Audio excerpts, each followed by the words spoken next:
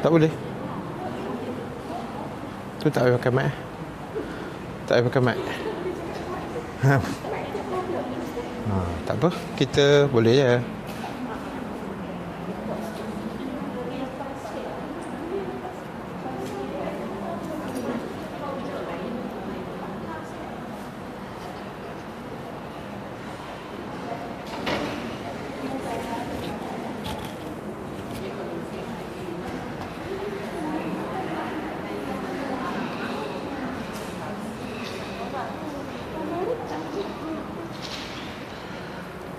Bismillahirrahmanirrahim.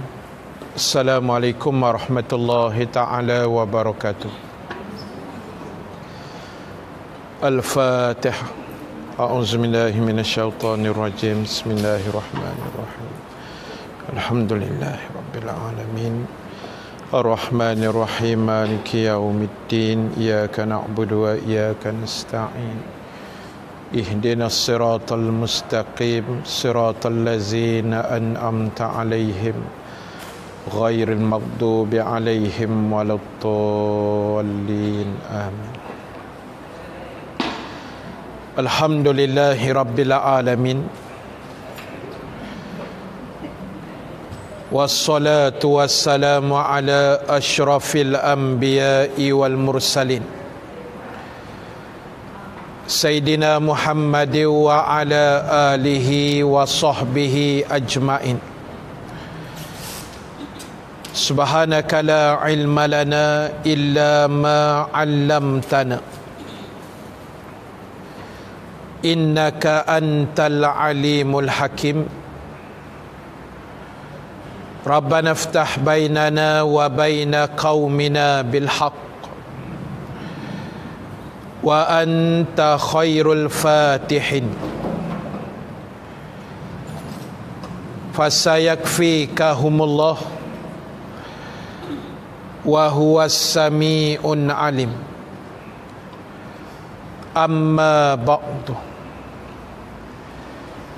Ibu-ibu yang dirahmati Allah Subhanahu wa taala sekalian Alhamdulillah Ta'ala kita memanjatkan kesyukuran kehadrat Allah Subhanahu Wa Ta'ala dengan keizinan daripadanya kita dapat sama-sama berhimpun sekali lagi pada petang yang mulia ini. Selepas hampir satu tahun kita tidak berjumpa November 2017 dan insya Allah pada petang yang berbahagia ini kita akan sambung perbahasan dan perbincangan. Seperti biasa menggunakan kitab ensiklopedia kematian hari kiamat dan hari akhirat dan kita masih lagi membahaskan tajuk bab yang ketiga nombor tiga pada muka surat 20 Tajuk dia mengingat kematian dan persiapan menghadapinya. Dan kita sambung bacaan pada muka surat 21. Pada hadis yang di atas. Muka surat 21 di dalam kitab pada hadis yang di atas sekali sabda Rasulullah sallallahu alaihi wasallam aksiru zikra hazimil lazzat sabda Nabi sallallahu alaihi wasallam yang bermaksud perbanyakkanlah kalian untuk mengingati pemutus segala nikmat iaitulah mati Ibu-ibu yang dirahmati Allah sekalian. Boleh dengar suara eh? Boleh. Ibu-ibu yang dirahmati Allah Subhanahu wa taala sekalian. Nabi SAW mengingatkan kita dalam hadis ini akan suatu perkara yang barangkali manusia tidak berapa menggemarinya. Iaitulah mati. Secara fitrah manusia belum ada lah kita jumpa mana-mana orang yang bila kita tanya suka tak nak mati. Dia golek-golek suka. Setakat ni belum ada lagi lah. Tak, bila tanya nak mati je dia kata ustaz kita bincang tajuk lain lah. Ha, biasanya begitu tak. Secara fitrah tidak ada orang yang seronok nak mati. Suka nak mati ni tak ada. Walaupun kita yakin dan percaya kematian itu adalah suatu benda yang pasti akan berlaku pada setiap makhluk yang bernyawa. Cumanya ibu-ibu yang dirahmati Allah sekalian Allah Ta'ala dia buat melalui nabinya sallallahu alaihi wasallam agar sebelum kita nak mati Nabi bagi satu pesanan kepada kita supaya ingat akan kematian. Dan mati itu disebut sebagai pemutus segala nikmat. Dunia ni adalah tempat Allah himpunkan segala nikmat tetapi ianya bersifat sementara. Lubuk segala nikmat yang kekal abadi ialah dalam syurga besok. Tapi dunia ini adalah nikmat yang boleh kita kecapi. Tetapi ianya datang dalam bentuk sementara. Contoh kita makan tengah hari tadi kalau yang tak puasa hari ni itu satu nikmat. Sedap ustaz lauk ikan patin ni. Nikmat. Tapi sementara kan semalam saya ustaz Ahmad Dasuki ustaz Yusaini Yahya Perlis ustaz Abu Jihad dan beberapa kawan lain kita pergi ke sekolah Al-Fadil Ustaz Ahmad eh sekolah Ustaz Kamal Syari Komtak di Temerloh Kerdau Pahang. Jadi bertolak pukul 1 tengah hari daripada Gombak dalam keadaan perut yang memang dikosongkan. Ha, jadi sampai di Kerdau dekat pukul 3 makan nasi ikan patin makan tepi sungai Pahang dan percuma. Alangkah nikmatnya. Percuma tu yang paling sedap tu tak? Ha, laut tak sedap pun jadi sedap sebab free. Orang belanja tak? Ustaz Kamal belanja. Dan nikmat itu dia setakat semalam je lah. Ha, dah habis petang lepas asal lapar balik. Itu dunia nikmatnya sementara. Nikmatnya seketika. Tetapi yang seketika itulah yang manusia ni kelang kabut sangat. Yang jadi berbalah berbunuh hari ni pasal nikmat yang seketika tadi. Yang tak bertegur siapa adik-beradik berbulan-bulan bertahun-tahun adalah angkara nikmat yang seketika itu juga yang dah putus sedara buang mak ayah pun kerana nikmat yang seketika. Sebab itulah Nabi saw berpesan kepada kita sentiasalah ingat pemutus segala nikmat iaitu mati. Baik cuba kita baca sikit huraian dia. Perkataannya amat singkat. Hadis Nabi itu pendek saja singkat dan ringkas. Namun mengandungi kepelbagaian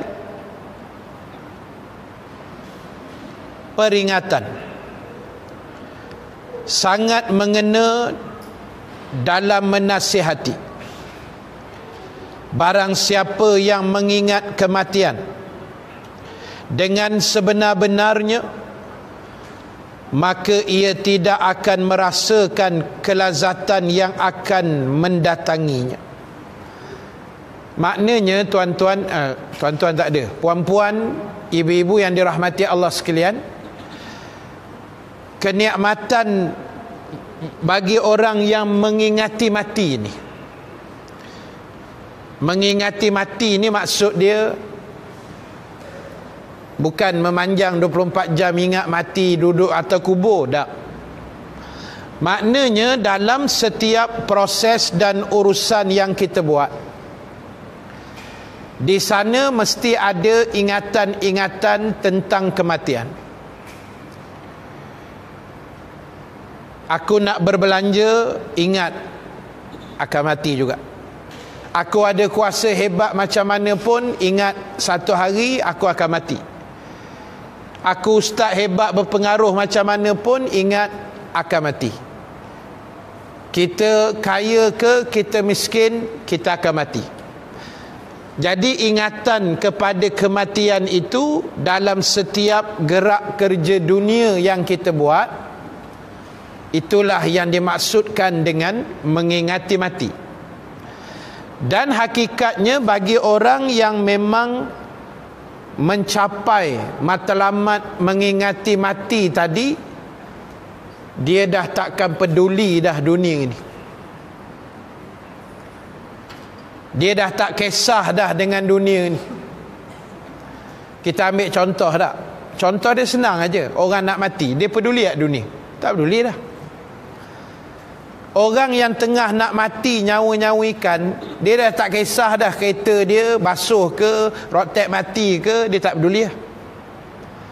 Dia dah tak kira dah duit lah akaun dia nak hala ke mana Siapa nak ambil lantak lah aku nak mati lah. Kan biasanya orang nak mati ni Dia tak peduli dah dunia ni. Kadang-kadang anak isteri dia pun dia dah tak ingat. Mak ayah dia pun dia dah tak kenal Orang nak mati kan dia tak peduli lah jadi itu maksud yang disebut dalam huraian tadi. Maknanya orang yang sudah merasai akan nikmat. Kematian itu dia dah tak ambil peduli dah dunia ni. Dia tak heran. Maknanya ada-ada tak ada sudah. Ha, dia macam tu. Yang jadi masalah hari ni ni bila kalut dengan dunia. Tak dapat menggelupur tak dapat jadi riuh rendah satu dunia. Sedangkan kita kena ingat nikmat-nikmat yang kita dapat dan kita ada ini adalah hasil kurniaan Allah kepada kita maka peliharalah ia dengan sebaik-baik mungkin. Kerana itu ibu-ibu yang dirahmati Allah Subhanahu wa taala dengan mengingati mati akan menghalanginya dari berangan-angan terhadap nikmat dunia di kemudian hari. Nah, muka surat 21 tu. Baik, persoalannya ialah dengan kita mengingati mati tadi kita akan terhalang banyak sangat berangan dengan dunia banyak sangat terpengaruh dengan dunia. Maknanya ada satu landasan atau uh, gap. Dengan kita ingat mati dengan dunia ni kita orang kata ala kadar saja. Tak ada orang yang dia kata saya dengan dunia tak ada apa-apa ustaz. Tak ada. Saya dengan dunia ni boleh kontrol ustaz tak ada hal punya. Tak boleh tuan. Memang ibu-ibu sekalian kita dengan dunia ni dia ada tarikan yang besar. Ustaz tak ustaz imam tak imam sama je. Dia mesti tengok je dunia dia akan tertarik. Itu dunia. Macam saya pernah sebut dululah kita masuk Aeon Shah Alam hak besar. Masuk je pintu utama dia ada dua tiga kereta orang jual kereta kat dalam tu. Kereta Myvi baru. Bukan Mercedes pun. Myvi saja kan. Kereta lokal kereta tempatan. Tapi baru punya. Kita pun singgah kejap. Belik-belik pegang bonet. Buka patuh empuk bonet tu. Beli tak? tak beli. Saja syok-syok buka pintu driver duduk goyang-goyang steering walaupun tak berjalan. Dunia-dunia dia menarik. Walhal kereta tiga biji lah kat rumah kan. Tapi tarikan tu ada. Lalu kedai baju dia tulis sale 70% sebagaimana dia sogo baru-baru ni. Kan? Ha, dia tertarik ha, nak beli kadang-kadang tak beli belik-belik jalan. Belik-belik jalan itulah kerja dia sampai ujung pasar raya tu. Tarikan jadi tarikan dunia tu memang macam tu. Cuma yang pentingnya ibu-ibu sekalian macam mana kita nak kawal. Dan cara kawalan terhadap dunia ni ialah dengan mengingati mati. Dalam erti kata lain maksud mengingati mati itu juga boleh diterjemahkan dengan mengingati akhirat. Kerana mati itu pintu gerbang bagi negeri akhirat. Berdasarkan sabda Nabi sallallahu alaihi wasallam innal qabra awwalu manzilin min manazilil akhirah Nabi kata sesungguhnya lubang kubur itu alam barzah itu adalah perhentian yang pertama stesen yang pertama tempat transit yang pertama. Daripada banyaknya kata Nabi tempat-tempat stesen-stesen di negeri akhirat maknanya kubur itu atau kematian itu adalah pintu gerbang menuju akhirat. Makna ingat mati itu juga melambangkan maksud ingat akhirat. Dan Nabi kata faman naja minhu. Barang siapa yang selamat di dalam kuburnya. Dia boleh jawab soalan-soalan para malaikat dalam kubur Nabi kata Fama ba'dahu aisaru minhu. Apa yang dia akan tempuh selepas kubur itu Akan lebih senang baginya. Berimpun di padang masyar Ditimbang amalan terima kitab jalan atas titian sirat itu semua akan jadi lebih mudah kalau dalam kuburnya selamat fa illam yanju minhu nabi kata barang siapa yang gagal di dalam kuburnya dia tak boleh jawab soalan malaikat-malaikat mungkar dan nakir Lalu kata Nabi fama ba'dahu asyaddu minhu. Apa yang dia akan tempuh ke depan nanti padang masyar, kitab dan sebagainya Nabi kata akan jadi lebih susah baginya. Nauzubillah. Maknanya kubur itu jadi satu indikator penanda aras kita punya nasib pada hari mahsyar besok sebab itu saya ulang balik mengingati mati juga memberi maksud kita ingat kepada alam akhirat kita ingat kita ni ada dunia satu lagi selain dunia dalam kubur kita ada dunia di padang mahsyar kita ada kemuncak bagi segala-galanya ialah pada hari akhirat nanti Baik, sambung bacaan.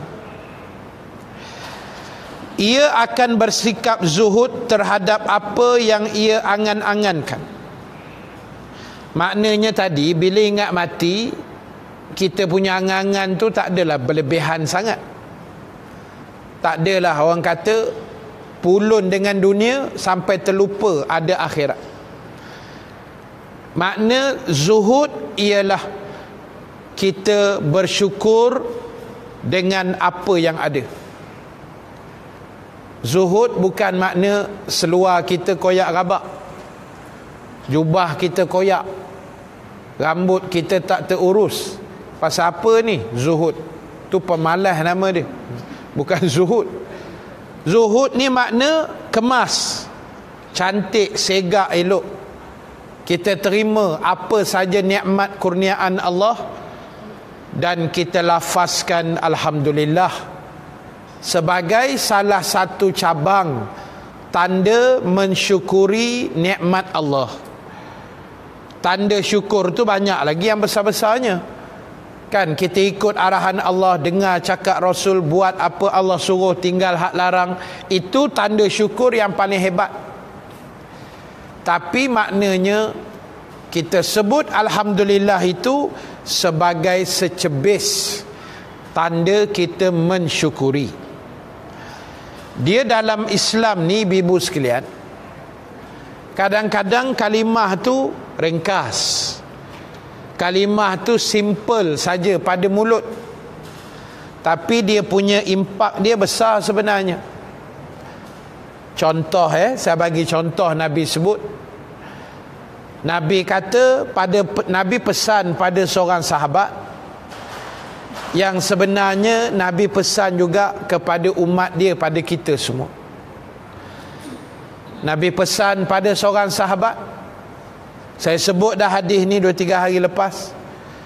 Nabi kata yang pertama Nabi cerita bab makan minum. Pertama kata Nabi bila kamu makan atau minum sebutlah nama Allah. Yang kedua Nabi kata kul biyaminik. Makanlah dengan guna tangan kanan kamu makan minumlah dengan tangan kanan kamu. Yang ketiga Nabi kata pada sahabat tadi ambillah makanan yang paling hampir dengan kamu. Itu adab. Nombor satu Nabi pesan sebut nama Allah. Sama ada ibu-ibu nak makan sebut bismillahirrahmanirrahim itu lagi baik lagi cantiknya baca doa makan sekali. Atau kita hanya menyebut bismillah saja. Lepas tu makan. Tanpa ar-Rahman ar-Rahim pun boleh. Dua-dua ada dalil. Bismillah yang penuh, bismillahirrahmanirrahim. Itu dalam Quran ada sebut surat yang ditulis oleh Nabi Sulaiman kepada Ratu Balqis. Mula-mula Nabi Sulaiman tulis innahu min Sulaiman.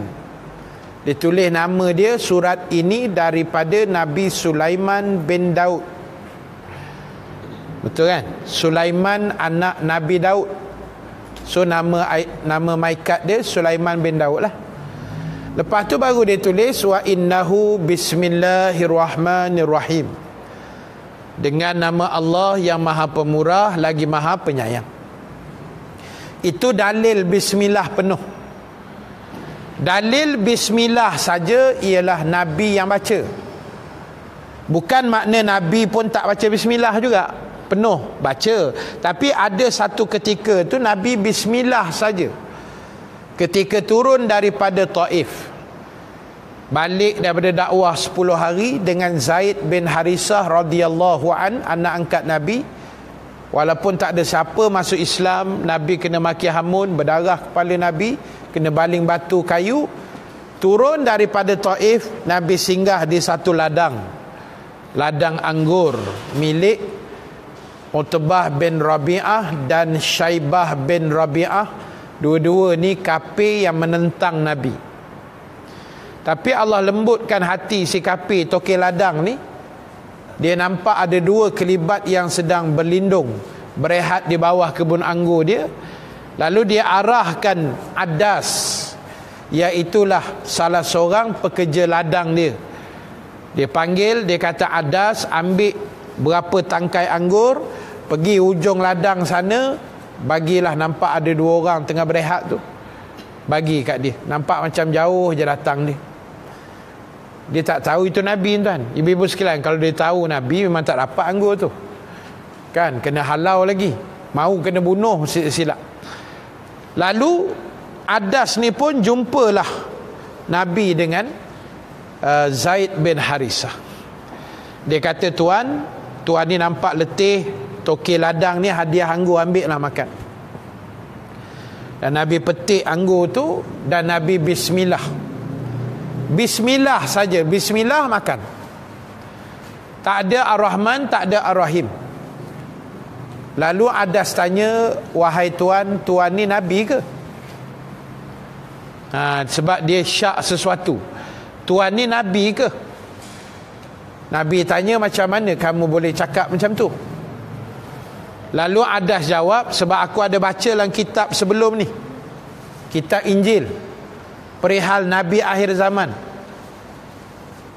Sebab nampak tuan makan tadi sebut nama Allah. Baca bismillah orang kampung ni main terkedarah begitu aja dia tak baca bismillah dia faham gitu je dengan tangkai anggur sekali. Tapi tuan baca bismillah ni tuan ni nabi kot ni. Ha, nabi jawab sungguh. Akhirnya adas memeluk Islam. Tengok bismillah aja. Kawan tu masuk Islam. Punya hebatnya agama Allah dan hidayah Allah kepada manusia.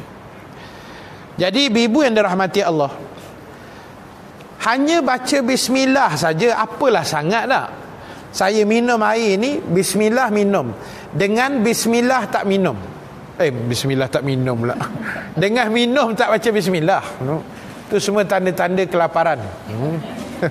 tak makan tengah hari lagi ni kan daripada kuliah zuhur tadi sambung sini jadi saya minum satu minum baca bismillah tak satu lagi minum tapi tak baca bismillah cerita ni duduk minum cuma bismillah dengan tak bismillah Nabi kata ada beza. Jangan kita anggap remeh benda tu. Ada beza. Satu hari Nabi duduk dengan seorang sahabat, dia makan sebelah Nabi. Agaknya dia lapar sangat. Terlupa baca bismillah. Sahabat ni makan makan makan makan makan. Sampailah Nabi sebut dalam hadis suapan yang terakhir. Suapan terakhir dia. Tinggal satu suap lagi. Baru teringat tak baca bismillah. Ha, punya dah balon dua pinggan ni baru teringat lalu dia baca bismillahi awwalu wal akhiru ataupun baca bismillah pun boleh tak ada masalah pun sebenarnya lalu bila dia baca tu nabi senyum Senyum tu yang pertama sebab dah tinggal sesuap je lagi baru teringat. Ada ha, Nabi senyum tu. Senyum yang kedua tu sebab Nabi tengok bila kawan ni baca nama Allah setan yang ada di sebelah kawan tadi tu Nabi nampak. Yang dah makan daripada awal tadi tu sebab tak baca bismillah tu setan tompang sekali. Akhirnya bila kawan ni sebut nama Allah, Nabi kata syaitan telah memuntahkan semula apa yang syaitan tu makan tadi. Dek kerana nama Allah tadi. Ha, jadi jangan kita anggap remeh nama Allah ni. Wa ima kita baca bismillah, alhamdulillah, astagfirullah ke apa. Jangan anggap remeh. Segala yang melibatkan Allah Ta'ala ni tidak ada remeh-temehnya tidak ada. Mesti ada keberkatan. Mesti ada kebaikan pada sisi Allah. Itu satu. Nombor dua tadi Nabi pesan makan tangan kanan kan? Dan nombor tiga ambil yang dekat dulu. Itu ada ha, macam saya semalam depan saya ikan patin. Selamatlah. Ada yang sebelah tu depan dia sambal belacan. Ha, kau makan sambal belacan tu dulu. Itu adab kan? Jangan pergi jangkau pula jauh dulu. Tak apa nak comel jadi dia. Jadi bibu sekalian ini maksud saya tadi. Maknanya selagi hati kita ni ada hubungan yang baik dengan Allah maka sebenarnya itulah selagi itulah kita akan terus ingat kepada hari akhirat. Ha, bukan tak boleh nak ambil dunia nak cinta dunia boleh tapi jangan berlebihan sangat. Yang matinya penyanyi K-pop di Korea tu. Kita pula buat tahlil kat sini kenapa? Kan? Ha, kan berlebihan nama dia tu memanglah semua orang ada peminat kan? Ada peminat penyanyi ni pelakon ni memang kita pun macam tu.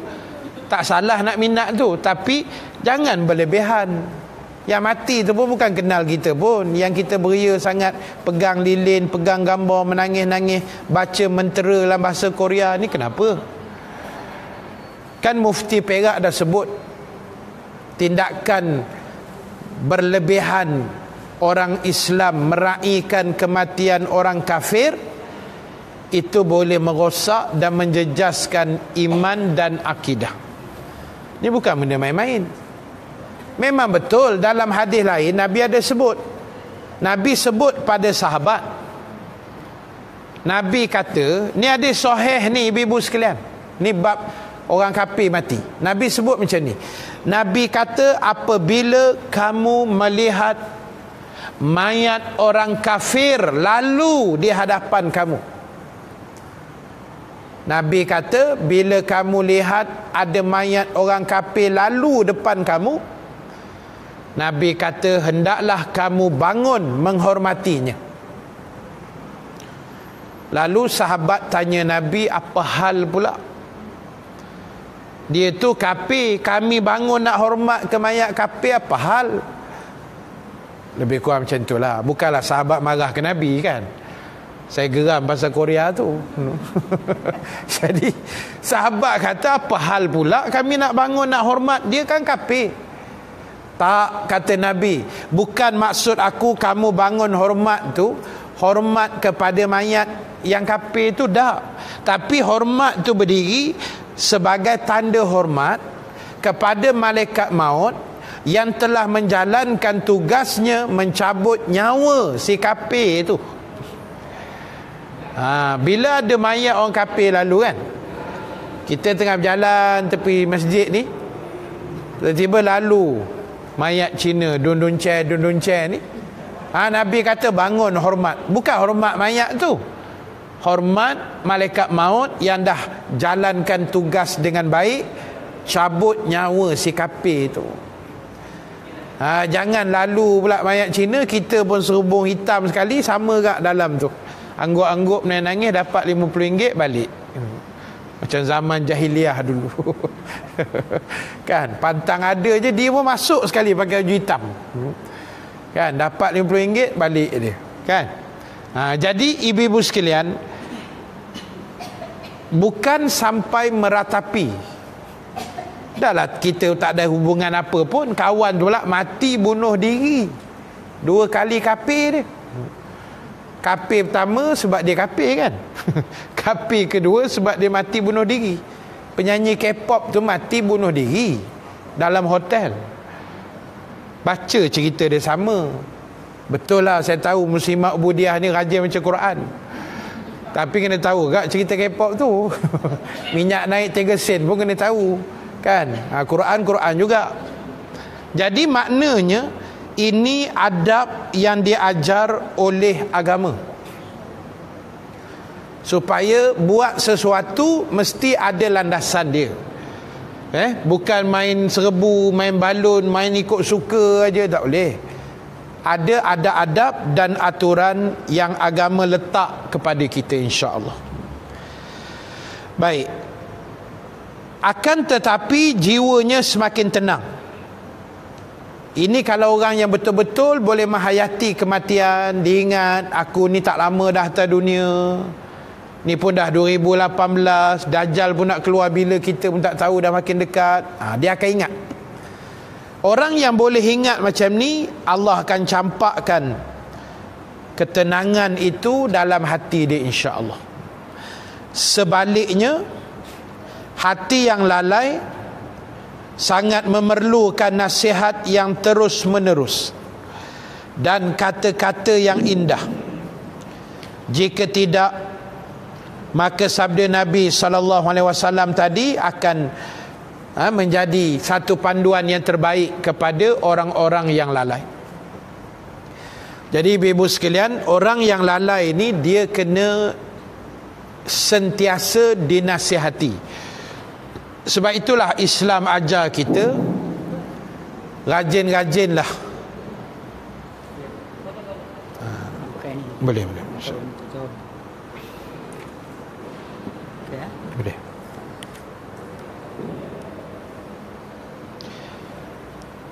Baik.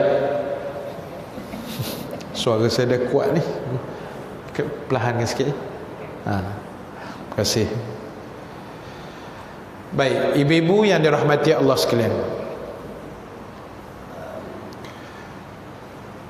Sebab itu Islam suruh kita mengaji. Tazkirah, dengar kuliah, dengan nasihat walaupun 5 minit walaupun 3 minit walaupun seketika sebab apa sebab kita ni sebagai hamba sebagai manusia atas dunia ni sifatnya mudah lalai. Manusia ni dia ada satu sifat namanya ghafilin. Orang yang lalai. Baik tu kena mengaji ni. Kami ustaz-ustaz pun kalau tak ada kuliah kita mengaji.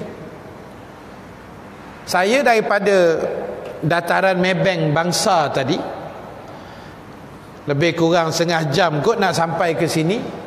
Dalam kereta tadi buka ceramah. Dengar ustaz mana entah tadi, kawan saya jugalah. Dia Kuala Zuhur dekat JKR, saya Kuala Zuhur dekat Mebeng. Habis dalam perjalanan tadi sambil-sambil mandu pasang dalam kereta buka video dia letak tepi buka suara kuat-kuat dengar dapat ilmu juga sikit-sikit. Sebab hati manusia ni lalai ustaz tak ustaz pun hati dia lalai selagi dia nama manusia. Jadi jangan kita biarkan kelalaian dan kecuaian tadi terus menerus bersarang dalam hati kita. Terus menerus membiak dalam hati kita.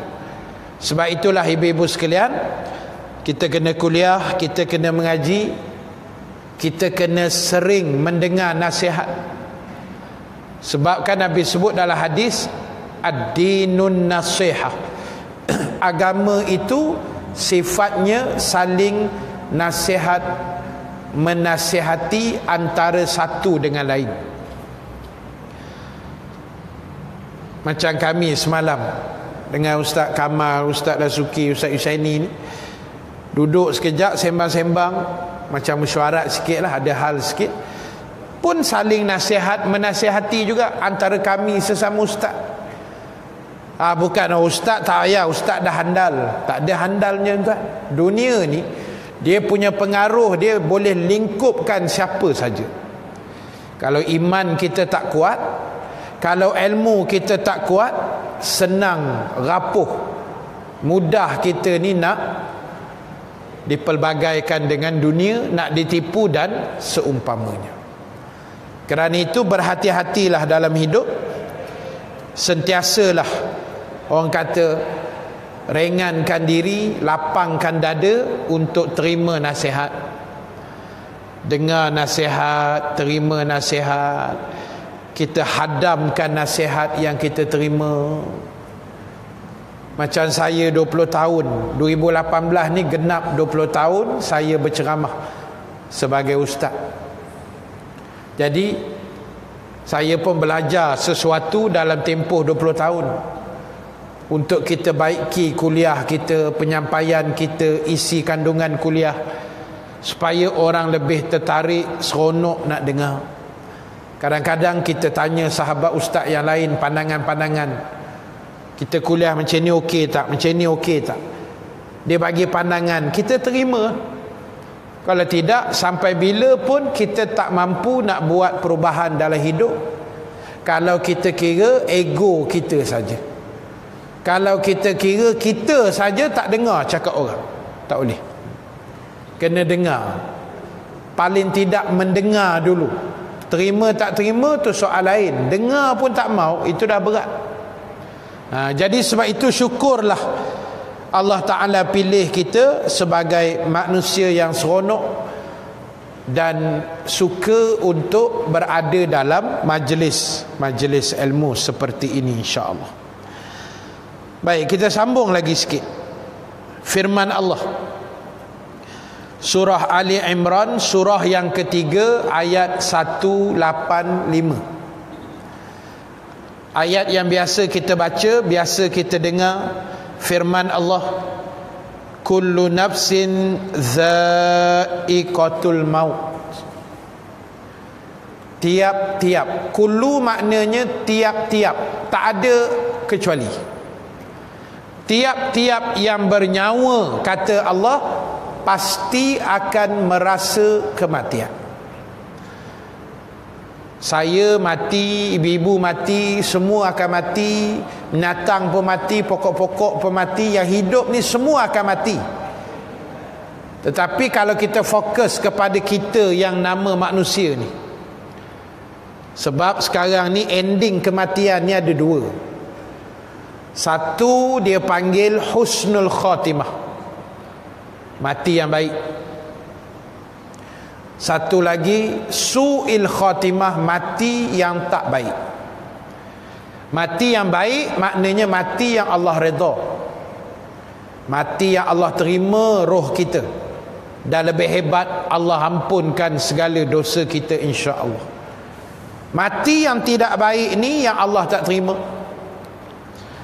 Yang Allah seksa roh dan sebagainya. Nauzubillah min zalik dan ingat saya ngulang balik pesanan Saidina Umar bin Al-Khattab.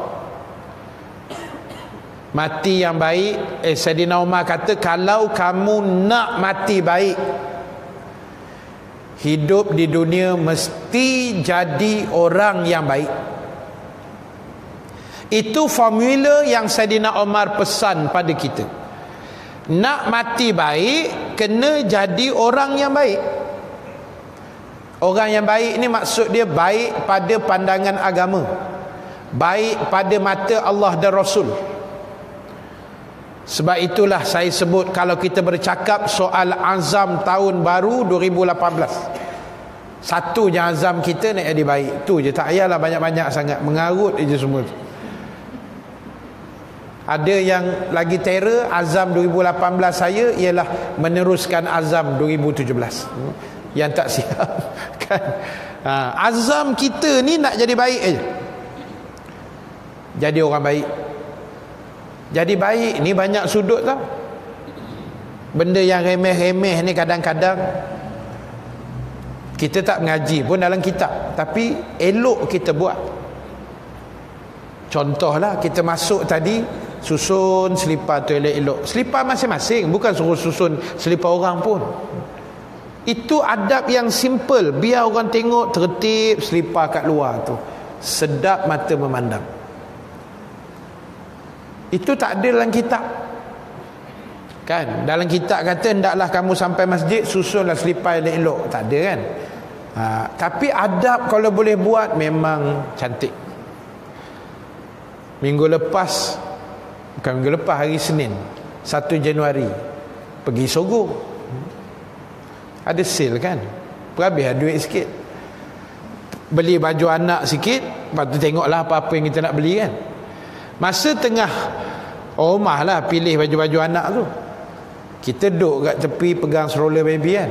Nasib suami-suami. Yalah dia jaga baby kita jaga baby. Orang rumah beli. Adil lah tu kan? Takkan dia membeli dia lah usun stroller letih kat dia. Pakat-pakat lah jadi tengah belik-belik itu belakang saya. Kan dia ada rak-rak baju kan. Ada satu ibu dengan seorang anak perempuan. Saya dengar perbualan tu. Anak perempuan ini dalam saya ingat dah jah satu jah dua macam tu kot. Tapi petah bercakap. Kan orang perempuan kan dia tarik seluar panjang tu dia pukul kat anak dia. Tak ngam lipat elok-elok letak alik. Lepas tu tarik pula baju ni ukur saiz bahu. Nak cari yang ngam. Lepas tu lipat balik susun letak balik. Anak perempuan dia kata apa? Dia kata ibu buat apa ibu lipat balik? Kita bukan pekerja sogong hmm? oh anak dia punya cakap. Saya dengar menyirat budak ni aku ketuk kepala sat lagi orang tahu kan betul lah budak tu cakap pun betul. Memang kita bukan pekerja sogong tapi apa dosa mak dia nak lipat balik? Dia sound mak dia. Dia kata ibu kita bukan staff sogo bu tak payahlah lipat-lipat. Kang dia tak ada kerja pula. Oh dia punya ayat baru je satu je dua kot. Ibu dia bagus kan? Ibu-ibu sekalian ibu dia jawab tak apalah nak. Kita dah dah serabutkan tadi kita susunlah bagi elok balik ringankan kerja staff anak dia tak kata apa benda ni tak ada dalam tarbiyah kita tapi kalau kita boleh buat memang cantik. Kita pergi kedai makan kan? Malam tadi kami dah makan sesi kedua lepas forum tu makan. Sak Kamal tahulah dia punya perangai kan. Dia rai tu gila-gila punya. Jadi dah makan ikan semua-semua tu apa salahnya kita ambil pinggan-pinggan kosong yang dah habis lauk susun elok-elok sampah-sampah tu longgokkan tindan-tindankan bagi senang pekerja restoran tu kutip. Kan bagus buat gitu. Benda simple. Tapi kadang macam tu yang kita tak buat. Ah biar Ustaz kita dah bayar beratus-ratus biar dia kutip sendiri. Tak ada niat kita nak menyenangkan kerja orang lain. Bila kita ada niat Allah akan mudahkan kerja kita niat kita buat nak senangkan kerja orang insya Allah Allah akan mudahkan kerja kita pula Tu yang kadang-kadang kerja kita jadi susah pasal kita menyusahkan orang. Parking satu kotak satu. Yang dua kotak kita seorang tu kenapa? Besar sangat ke kereta kita ni lapan ke tayarnya. Tayar empat juga kan. Masuk parking ikutlah kotak. Ha. Jangan menyusahkan orang. Dia dah tulis parking penceramah. Jangan masuk. Kecuali kita penceramah. Tadi tak ada siapa masuk saya yang masuk. Sebab saya penceramah kan? Ha, jadi benda-benda macam tu maksud saya. Hari Jumaat kalau kita blok kereta orang cepat-cepatlah keluar. Jangan sampai orang kena blok tu horn buat announcement pula. Biar bertanggungjawab kan? Dekat tol queue. Jangan potong queue. Benda simple-simple. Bukan saya nak mengajar petang ni dah tapi itu yang kadang-kadang kita nampak benda yang remeh-remeh pada mata kita. Tapi orang kita tak buat. Lepas minum air boom campak air tin kosong kat luar tingkat kereta. Apa hal? Ha, kan tak comel tu? Saya bayar cukai jalan kata dia. Suka hati saya lah ustaz dia nak kereta dia bersih. Luar kotor tak apa. Apa perangai macam ni? Ada orang dalam kereta pun kotor. Buka-buka pintu biar awak keluar dari kereta. Punya kotor. Biar awak pun boleh hidup sehat walafiat lah kereta dia kan. Ha, teruk benar. Lepas tu saya cerita bersarang terus dalam tu. Jadi biarlah kita ni jaga kebersihan. Dah kita mengaku kita Islam kan kita muslim bangga jadi orang Islam. Tapi apa kebangganya kalau perangai tak macam Islam suruh buat? Mulut tak jaga adab tak jaga akhlak tak jaga ilmu tak jaga adab tak jaga. Ha, itu yang tu saya kata tadi azam kita kali ni kita buat sungguh-sungguh lah. azamkan diri kita nak jadi manusia yang baik sebab kita kena ingat Nabi Allah sebutlah ayat ni. Tiap-tiap yang bernyawa pasti akan merasai kematian. Semua akan mati. Jadi sebab itu ibu-ibu yang dirahmati Allah sekalian buatlah persiapan yang terbaik. Hadis Nabi sallallahu alaihi wasallam Al-kayyisu man dana nafsahu wa amila lima ba'dal maut. Nabi kata orang yang bijak itu ialah orang yang sentiasa bermuhasabah diri. Kita muhasabah diri. Ha, ni dah naik tahun ni dekat nak mati dah ni kan? Muhasabah diri kesihatan pun dah makin teruk amalan pun dah makin sikit. Kita muhasabah diri. Carilah ruang-ruang yang ada untuk perkemaskan amal ibadah kita. Dan pada saya selain amal ibadah ni yang paling penting sebenarnya ialah akhlak kita sebagai muslim. Kita nak dah orang Islam mencemarkan imej Islam dengan akhlak yang tidak baik. Na'udzubillah jadi Nabi Nabi kata orang Islam yang bijak ialah sentiasa muhasabah dan kemudian dia buat siapkan bekalan dia sebelum dia mati. Dia buat preparation sebelum dia mati. Jadi ibu yang dirahmati Allah sekalian ini yang kita sebut kematian yang kita tidak pasti tarikhnya Nabi sendiri pun tak tahu bila Nabi nak mati kan pada pagi Isnin yang malaikat maut datang tu pun Nabi tanya dulu tujuan kamu datang apa dia kata aku nak ziarah kamu kali terakhir wahai Rasulullah. Dan yang kedua aku nak cabut nyawa kamu kalau kamu izinkan. Itu je special Nabi malaikat maut minta izin. Dekat kita tak adalah minta-minta izin. Tak mati nanti. Yang mati malaikat maut tu. Ha, kan kita sampai ke sudah tak mati-mati. Asyik tangguh aja kan. Malaikat datang macam mana ustaz? Petang ni okey. Nantilah datang balik lah minggu depan ke macam mana Dia fikir tengok Datang minggu depan pun postpone lagi kan Dah lama malaikat mati dulu Dah. Jadi dekat kita ni tak ada kelebihan tu Dan bila bagaimana pun kita tak tahu Jadi sebab itu ibu-ibu yang dirahmati Allah sekalian Saya akan berhenti setakat ni dulu uh, yang sambungan Sayyidina Umar tu kita baca bulan depan lah insya-Allah. Jadi saya ucap terima kasih banyak-banyak pada ibu-ibu uh, yang hadir pada petang ini. Terima kasih juga pada sahabat-sahabat daripada audio kuliah yang menonton secara langsung kita pada petang ini.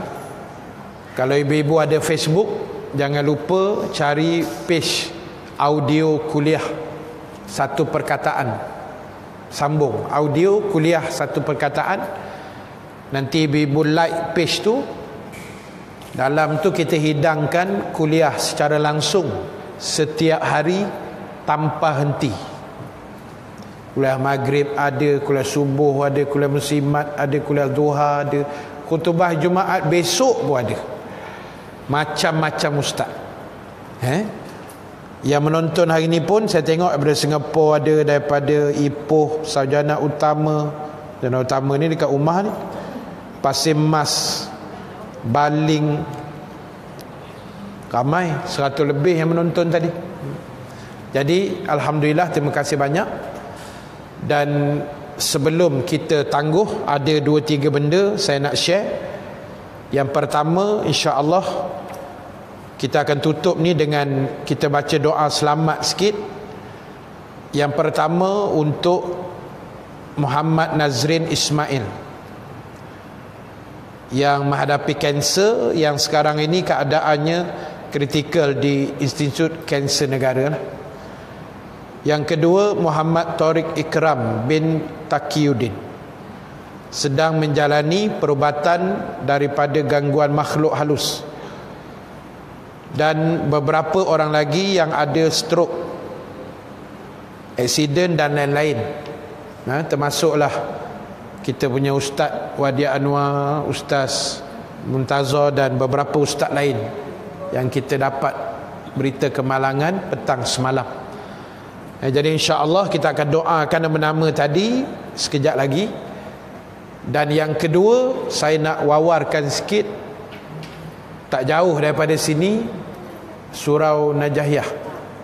Malam besok kita ada forum bicara ad-din selepas maghrib. Jadi jemput hadirlah ramai-ramai. Ahli panel dia Ustaz Rahim Nasir. Mungkin saya lah agaknya. Kemudian Ustaz Halim Nasir dan Ustaz Salihuddin Nasir. Uh, keluarga Nasir lah besok.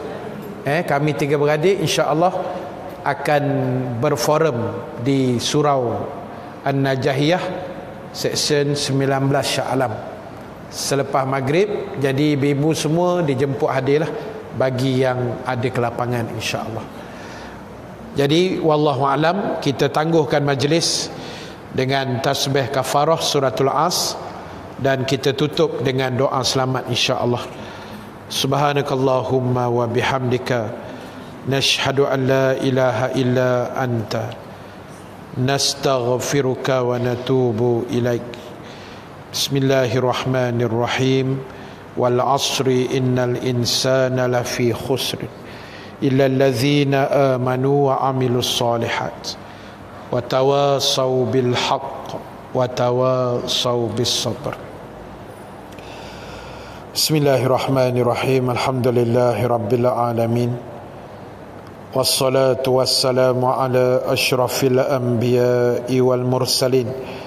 سيدنا محمد وعلى آله وصحبه أجمعين اللهم اجعل جمعنا هذا جمعا مرحوما وتفرقنا من بعده تفرقا مأسوما ولا تجعل اللهم فينا شقيا ولا محروما ولا مترودا اللهم ذكرنا ما نسينا وعلمنا ما جهلنا يا أرحم الراحمين Ya Allah Tuhan kami ampunkan segala dosa-dosa kami Ya Allah Dosa kedua orang tua kami dan mertua kami Ya Allah Dosa adik-beradik dan saudara mara kami Ya Allah Dosa jiran-jiran dan sahabat handai kami Ya Allah Dan dosa seluruh para asatizah tuan-tuan guru kami Ya Allah Ya Allah Tuhan kami Seandainya di kalangan kami ada yang sedang menanggung kesakitan Ya Allah Sebagaimana nama-nama yang telah kami wawarkan tadi Ya Allah Dan juga sahabat-sahabat ustaz kami yang dilanda kemalangan tempoh hari Ya Allah Kau berikanlah kesembuhan kepada mereka Dengan kadar yang paling segera Ya Allah. Kami serahkan apa yang terbaik kepada engkau Ya Allah untuk membuat keputusan yang terbaik bagi kami ya Allah. Ya Allah Tuhan kami seandainya di kalangan kami masih menanggung hutang piutang yang banyak ya Allah kau permudahkanlah urusan kami untuk melunaskan hutang-hutang kami ya Allah sedikit demi sedikit sehingga habis hutang yang berkenaan ya Allah sebelum kami menghembuskan nafas di atas dunia ini ya Allah ya Allah Tuhan kami Seandainya di kalangan kami masih memiliki hajat-hajat yang banyak ya Allah yang masih belum tertunai engkau permudahkanlah urusan-urusan dan hajat kami ya Allah. Hanya kepada engkau lah kami memohon dan kepada engkau lah kami berserah ya Allah ya arhamar rahimin. Rabbana alaika tawakkalna wa ilaika anabna wa ilaikal masir. Rabbana atina fid dunya hasanah وفي الآخرة حسنة وكنا عذاب النار وصلى الله على سيدنا محمد والحمد لله رب العالمين السلام عليكم ورحمة الله تعالى وبركاته